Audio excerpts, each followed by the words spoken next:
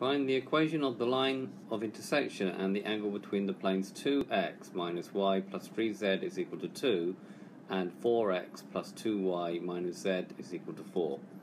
If we have a look at this first of all using GeoGebra, okay, so we can see one plane here and one plane here, and we can see a line of intersection here. If you click here, you will see the normal vectors and actually if you click here you actually see the normals here. You can see the two normals here. So here is one normal and here is the other normal. Okay if you find the angle between the normals you're finding the angle between the two planes. Okay and here is the equation of the uh, vector equation of the line and we can see the value of the angle theta. However it's better to look at this in 3D view. So let's have a quick look at it in 3D view. So if you put your glasses on,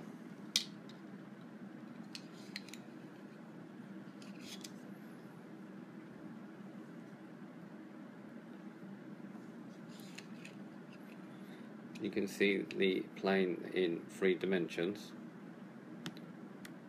okay and you can see very easily that they actually meet on a line here okay and if we I don't know why that's disappearing but you can see the normal of the two uh, of the two planes and therefore if you can see the normal of the two planes and find the angle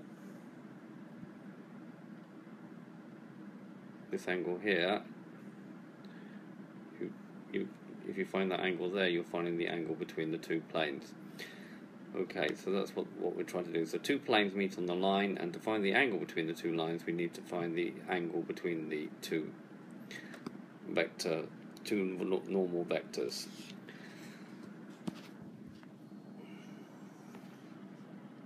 So there's a 2D drawing there. So what I'm saying is you need to find this angle here between the two normals. Right, so if you first of all write the equations of the plane into normal vector form, that's quite easy. So plane 1 is 2x minus y plus 3z is equal to 2. And then therefore we get r dot 2 minus 1, 3. 2 minus 1, 3 is equal to 2. We'll this is the normal one, this one here. Let's write that on our diagram. And then plane normal 1, and then plane 2 will be is 4x plus 2y minus z is equal to 4 therefore r dot 4 2 minus 1 4 that is n2 and therefore the orange plane here the orange one here is r dot 4 2 minus 1 is equal to 4 and this vector here is 4 2 minus 1 right what we need to do is find a vector which is in the same direction on the line. So if we find the cross product of the two normal vectors, we'll get the directional vector of the line because the line is perpendicular to the two normal vectors. And that's the geometrical property of the cross product. So two planes intersect on the line L with directional vector V, and V can be found by doing the cross product of the two normal vectors another type of diagram. So n1 is 2 minus 1, 1, and n2 is 4, 2 minus 1. So v will be equal to the cross product of m1 times n2. So make your i, j, k, write down the first vector, 2 minus 1, 3, 4, 2 minus 1.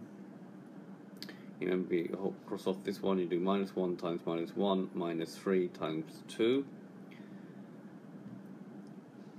next one's always minus, and then you cover up that one, and then you have to do 2 times minus 1 minus 3 times 4. And then for the k, you cover up that one, and you do 2 times 2 minus minus 1 times 4k. So that's going to give you 1 minus 6i,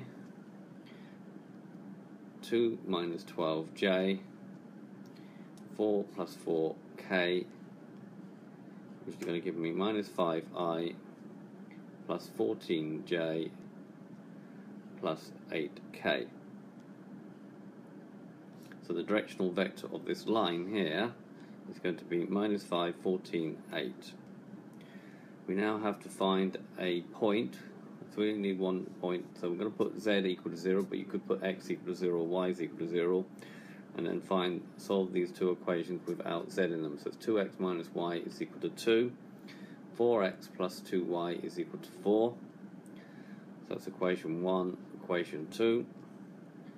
1 times 2 plus 2. So we're going to multiply this by 2 and then add them together. It's going to give 8x, because that'll be 4x plus 4x, which is 8x, 2y, minus 2y and 2y will disappear. Is going to be equal to 8, so x is equal to 1. Substitute back, and you're going to get that y has to be equal to 0. You can see that straight away. You put 1 in there, 2 minus y is equal to 2 and therefore if you take the 2 over to the other side you're going to get minus y is 0 so y is equal to 0 so the line passes through the point 1 0 0 1 sorry 1 0 0 so the vector equation of the line is r is equal to 1 0 0 plus lambda minus 5 14 8 this is the point this is the directional vector of the line well, if you write it in Cartesian form, so it's going to be x minus 1, x minus 1 over minus 5, y minus 0 over 14, z minus 0 over 8. So this is the Cartesian form. For the angle, we need to find the angle theta between the two normals, and that gives you the angle between the two lines. So we need to find the use the scalar product of these two vectors here. So cos theta is going to be the scalar product of m1 dot n2 over the magnitude of m1 and the magnitude of n2. So cos theta is going to be equal to 2 times 2, 2 times 4, sorry, minus 1 times 2, so it's 2 times 2 minus 1 times 2 and plus 3 times minus 1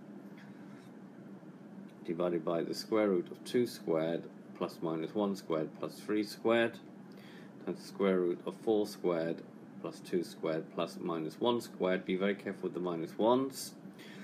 So theta will be cos to the minus 1 of 3 over root 14 times root 21 which is going to give me an answer of 79.9 degrees. If we just take one more look back at the algebra view in 3D, so you need to put your glasses on if you've got some 3D glasses. Okay, you can see very clearly the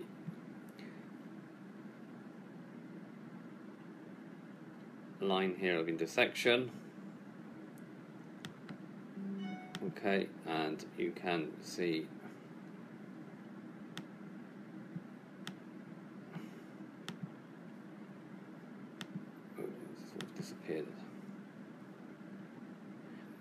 line of intersection and the normal of that one there, the normal and the normal of that one there.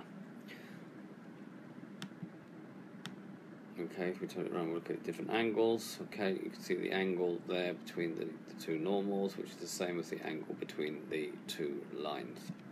Okay, so this has been a video to show you how to find the angle between two lines and to find the equation of the line of intersection.